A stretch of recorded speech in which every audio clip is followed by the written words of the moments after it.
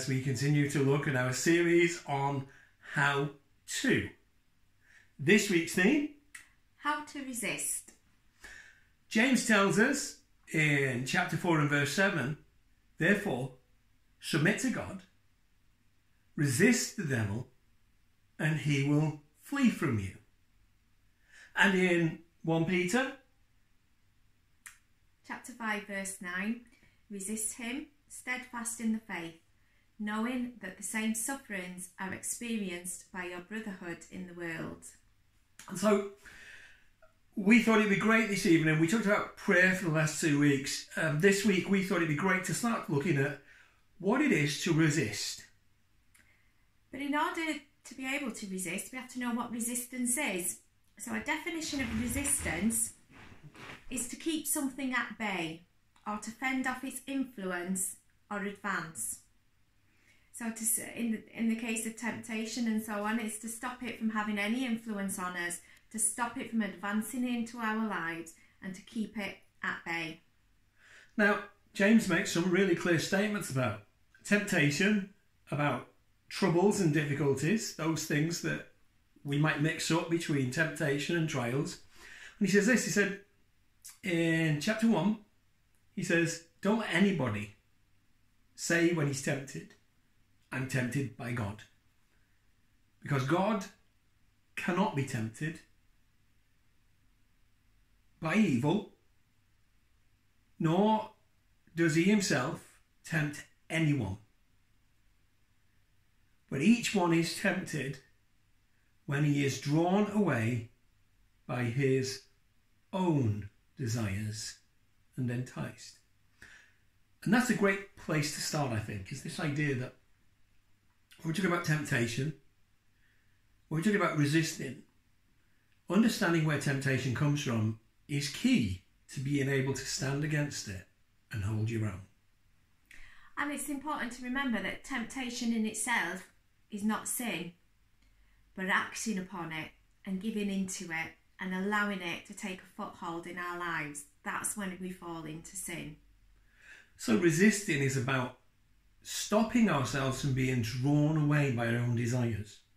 It's about not letting ourselves succumb to those thoughts, feelings, wants that so often overwhelm us. And we're not just talking today about the obvious things like gluttony or sexual immorality or theft. Those are obvious temptations, but there are lots of others as well, aren't there? Yeah, have you ever thought about tempted to be fearful? The temptation to have a pity party, the temptations to be um, self absorbed, temptations of pride. You know, I think sometimes we get so overwhelmed by the idea that depression is something that just happens to me. But actually, it starts with its root in allowing myself to start feeling very sorry for myself about circumstances and situations. Fear would be similar, I think. Yeah. Fear, so often there's an anxiety, there's a concern. I'm not talking about obvious, necessary fear. There's a tiger running down the street that's about to bite my legs. That's what fear's for. It kicks in all sorts of chemicals that give me the fight or flight reflex and allows me to survive. It's a, it's a natural part of our biological nature. But fear of the unknown, fear of the what if, the temptation to dwell in things that haven't happened yet and things that haven't taken place. That, that's the danger of temptation in fear, I think. Yeah, and, and it involves taking our eyes off God. Always. Whenever we keep our eyes fixed on God, fear cannot take a foothold in, in our lives. It's this idea that everybody says, oh, the devil's giving me a hard time today. Oh, the devil's giving me trouble this way or that way. But actually, if we look at what the devil is giving us trouble with, he always gives us trouble with the things that we desire, with our own desires in which we can be enticed. And often we blame things on the devil to the point that we almost make him omnipresent, and that's not one of his qualities. Only God is omnipresent and That's can be everywhere at once. The devil can only be in one place at once. Often we are tempted by the old man, the old man trying to rear Yeah. his head within our lives and take us back. We often say that our, our three greatest enemies in life are the devil. We're told the adversary um, is the devil. The world, of course, all around us there's temptation. That's that's a real enemy to us at times. But more than these two, our biggest enemy is ourselves, and that's where temptation really has its battle is in ourselves. So when we talk about how to resist, how do I stop myself from giving in to my wants, to my desires? How do I resist in a way that allows me to live a victorious, successful, godly life? That's a question of how to resist. I think it helps to know that um, nobody is special in their temptation. No, temptation is common to all of us. Um, whether Christian or not Christian, we are all tempted by things. How many times you go shopping and you're tempted by that? Well, not at the moment, but you're tempted by that lovely new dress or and and Chocolate cake. or that handbag or chocolate cake. Yeah, temptation is common to the whole of mankind. It's not just a unique experience for Christians, but the way we deal with it is different. In fact, Paul writes to the Corinthians, and the Corinthians were well known for being quite a carnal church. They gave in all the time to lots of desires and wants. And Paul writes to them, and amongst other things in his letters to them, he says this No temptation has overtaken you, except those things that are common to man. But God is faithful, who will not allow you to be tempted beyond what you are able but with every temptation will also make the way of escape that you may be able to bear it. This first thought, we're not going through something that is worse than anybody else. We might be going through something different, but not worse. Because temptation is the same for us all. We all face temptation, trouble, trial. Yeah. And I think there's a great danger. The first area in which we give up and stop resisting is we begin to convince ourselves that somehow, poor pitiful me, no one else goes through things like I do. No one knows what it's like to experience these things like I'm experiencing. But actually, the Bible's very clear. We're all going through the same trials, the same temptations, the same troubles. It might look different for you than it does for me. It might look different for you than it does for me. But emotionally, spiritually, in our heart of hearts, we're all going through the same trials and challenges. And and to end up in that place where you start thinking I'm the only one facing this is already a step in the wrong direction. It's a step towards defeat and not a step Absolutely. to victory. So, one of our first steps in learning how to resist is not thinking for one minute that I'm unique or in some way what I'm facing is unusual. Because, well, Solomon said there's nothing new under the sun. So, as we talk about these things, we notice the second thought that Paul brings in Corinthians when he says about no temptation has overtaken you, which isn't the same for everybody else. He says this, he said, God won't let you go through what you can't cope with. So whatever you're going through, God knows you can cope with it and God knows you can stand against it. Absolutely. Just because you don't feel like you're able or often want to, the truth is that God has not let you face anything that you cannot handle. See, temptation brings a desire to fall into a sin of doing or not doing something that you should be doing. It doesn't make you sin. You still have the choice to say no or to say yes. Oh, You, I'm sure you've seen um, the cartoons or the comic books Um, I'm sure I've seen in Dennis the Menace sometimes, and he'd have a little angel on one side and a little devil on the other, and the one telling him to do wrong and the one telling him to do right. And it's listening to those voices and choosing which one has the greatest power in our life. That reminds me. I, I remember a little boy once said to his mum, You mean Norman? My name's Norman. Not no. Because every time he asked for things he couldn't have, his mum would just say, No. And when we raise our children, we never raise our children and just say yes to everything. If we do, if we did, we're not very good parents. Because children need to learn the difference between what they can have and what they can't have, what's good for them and what's not good for them. So giving them a tub full of ice cream just to keep them quiet is not a good thing. It's actually poor on your part. It's temptation to end ceaseless nagging from little ones and give in. But a good parent says no, with good reason. And so when we come to temptation, we've got to look at ourselves and say, no. That's where this whole resistance thing begins, is with saying, no. Try it. I, I remember a pastor friend of ours who would say quite frequently, You can't stop a bird landing on your head, but you can stop it from making a nest. So those thoughts will flitter by, but you don't have to dwell on them. You can dispel them straight away and dismiss them and say, No, I don't want that thought in my head, and change your thinking. So the third thought from this um, verse in Corinthians, as we're looking at um, this idea of temptation, is this that God doesn't tempt us. We saw that in James. That we're tempted by our own desires. We saw that in James and in Peter. But what we see here is that though God doesn't tempt us, He helps us. Yeah. God is our very present help, not just in practical real life situations, but in the trials and turmoils of temptation, God is there ready to help. And that's why Paul writes to the Corinthians and he says, He will also make the way of escape. But we've got to choose to listen Mm. and choose to bring God into that.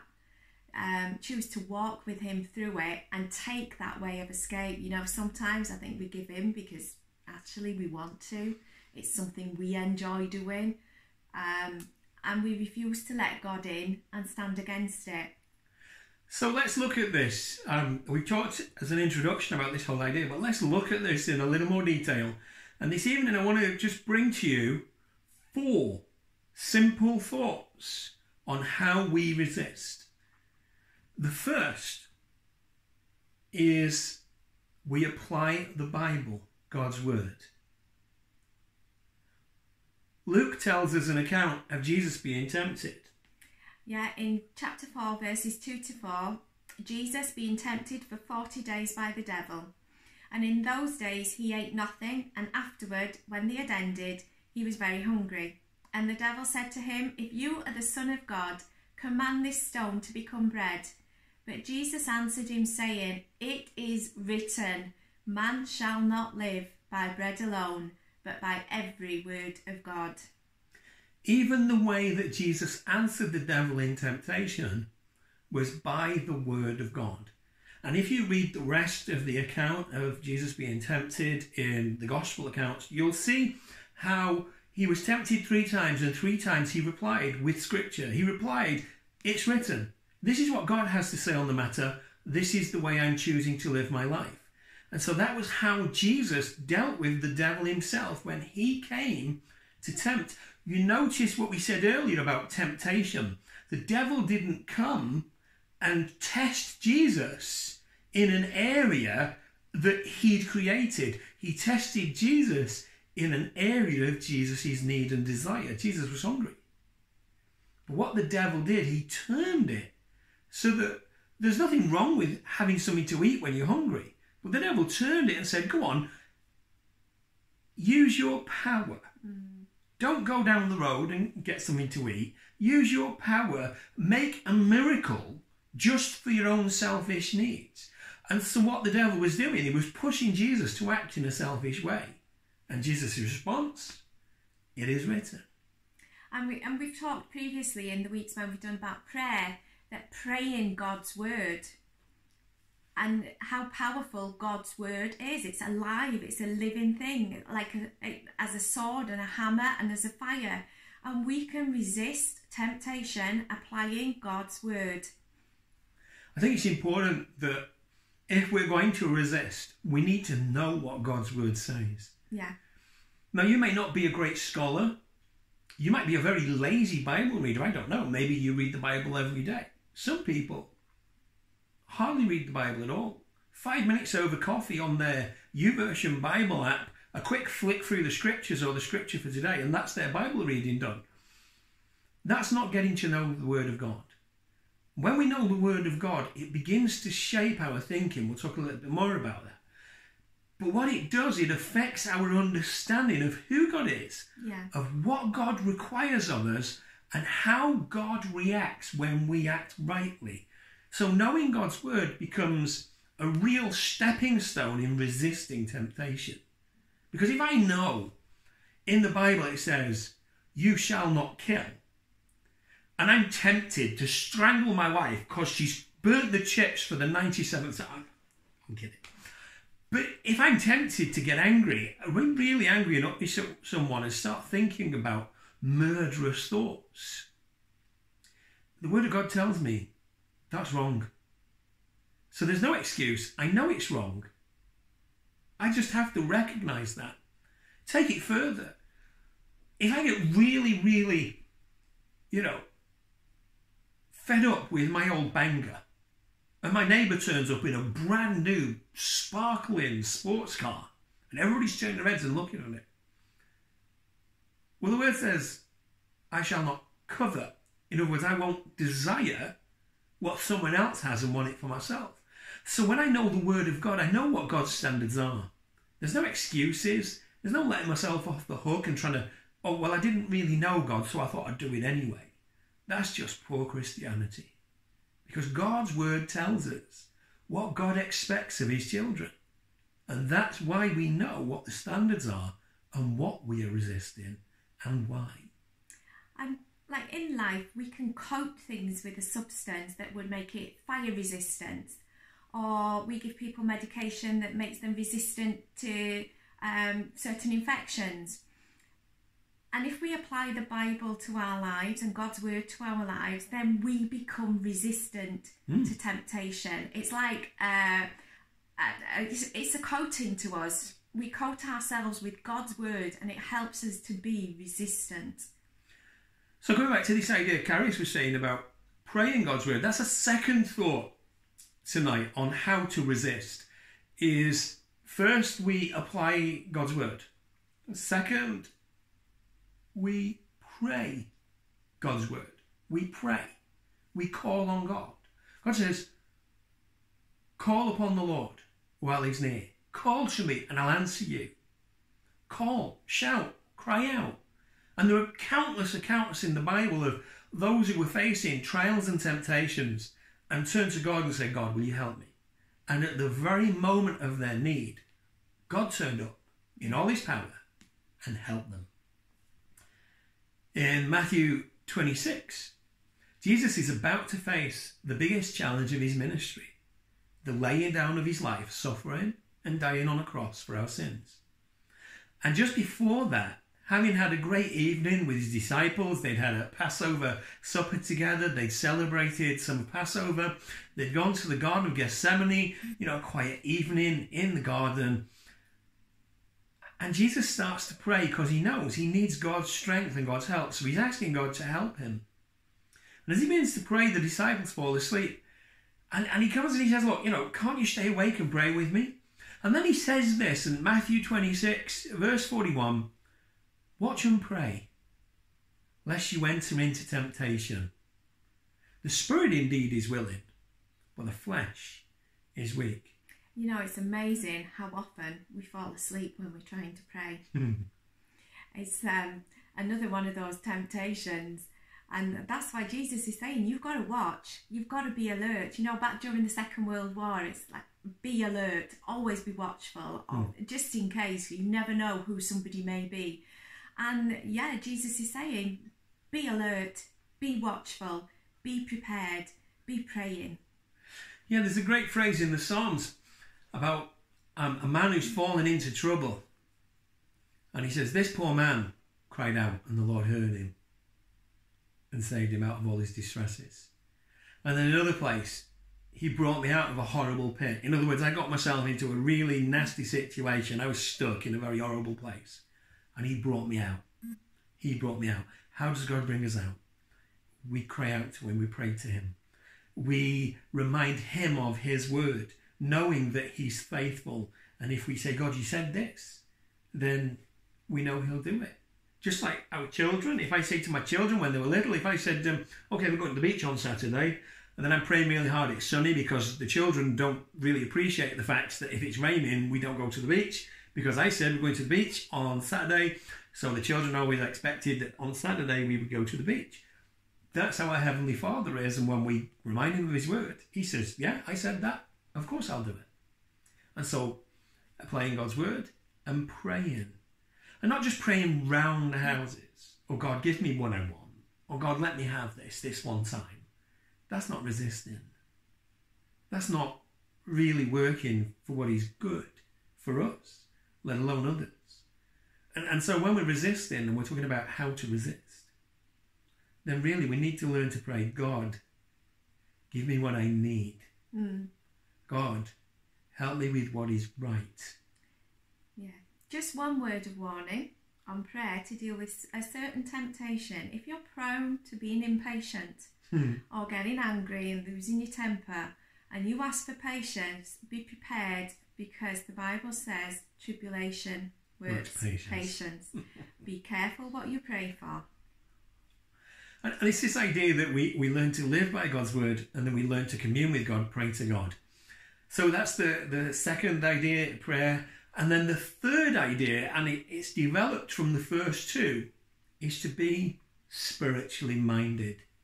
So I apply God's word, I pray to God, and then I become transformed.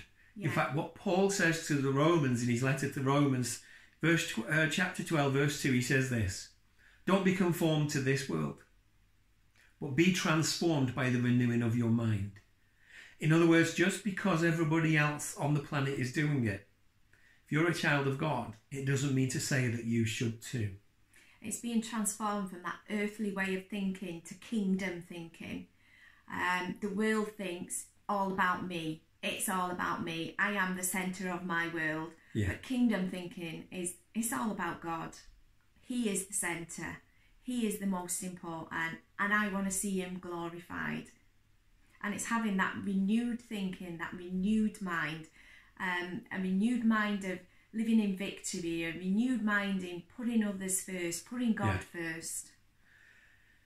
When he writes to the Galatians, Paul says this He said, I say, walk in the Spirit, and you won't fulfill the lusts of the flesh.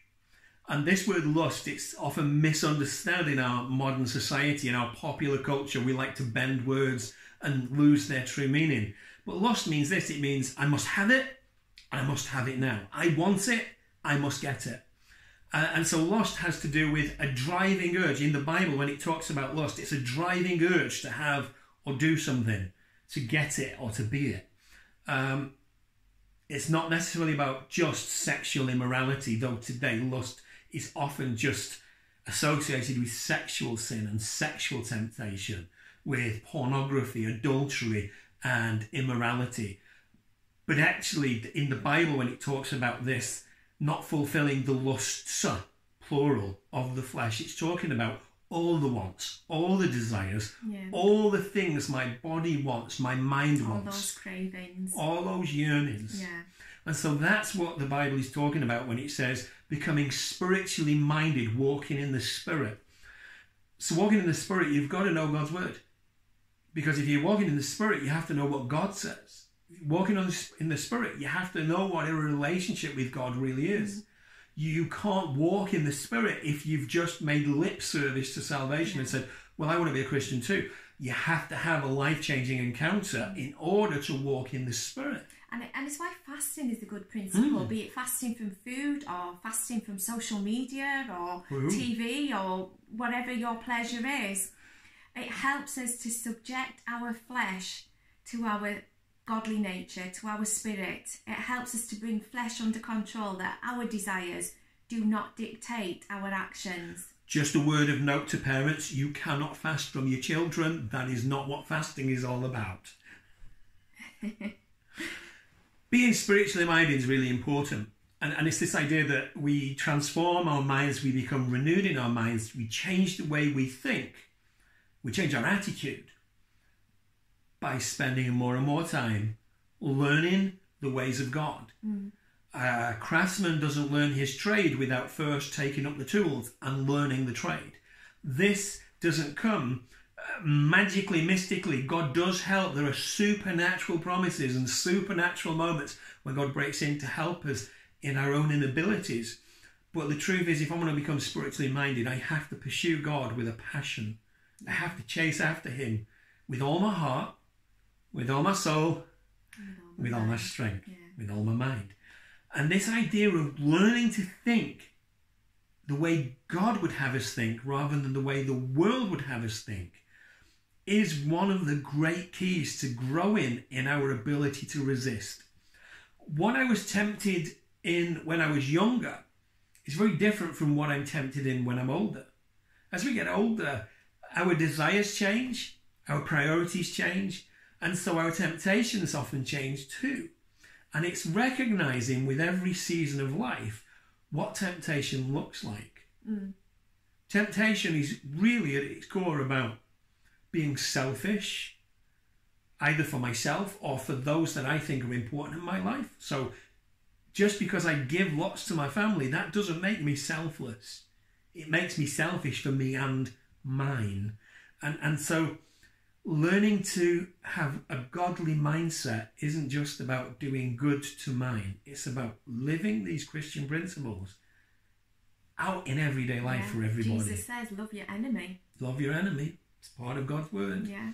And, and so this idea of being spiritually minded, it's what helps us learn how to stand strong. Being spiritually minded when I'm tempted to fall into self selfishness and depression, when I'm tempted to fall into fearfulness and worry and stress and anxiety, because they are temptations. The causes may be very real, but our reactions are still temptations that we give into. And that's the challenge, is not giving in. And so our fourth point this evening, we've looked at the Bible, knowing God's word.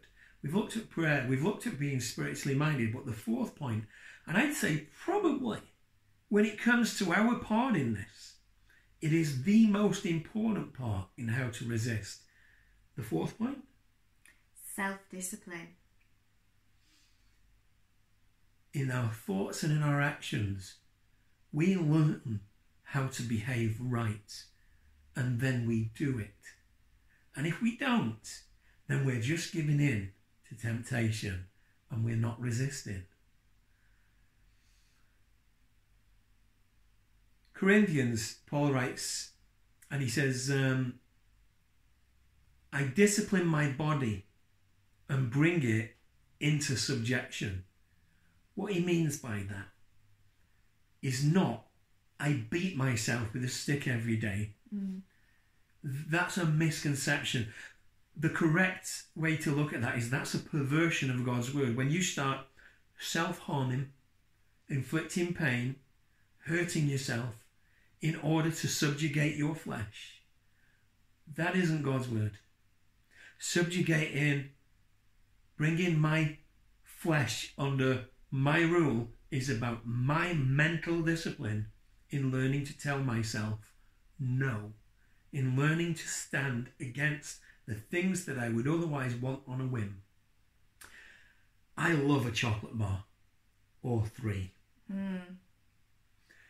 It's so easy every time I walk into the kitchen to get a drink or to let the cat out or whatever else I'm doing to stop by the cupboard and grab a chocolate biscuit or a bar of chocolate. It's so easy. And I could tell myself, well, it doesn't matter. And in the big scheme of things, it doesn't really. But if I don't want to become 20, 30, 40 stone, then I have to learn to be disciplined. It doesn't matter how big you are. That's not what the issue is. That's not what I'm talking about. Is not our size. But if it affects my health, if it causes me upset and anxiety because I feel bad about myself, then that's an area I learn need to learn to put my discipline into. It's about me having self-discipline. What? Go on. And, and as we've said, every skilled artisan, every athlete, they have to train in what they're doing. They have to be disciplined. They have to put the time hmm. and the effort into what they're doing. See, these things don't often come naturally. Hmm. They take a lot of effort, a lot of energy on our part, Yeah. a lot of. But if you want to achieve it and you want to be the best that you can be, then you're prepared to do it. Hmm. And when it comes to being the great best disciple, being the best follower of Jesus that we can be, we have to put self-discipline. We have to put energy and our we have to put our actions and our will into it and make the right choices.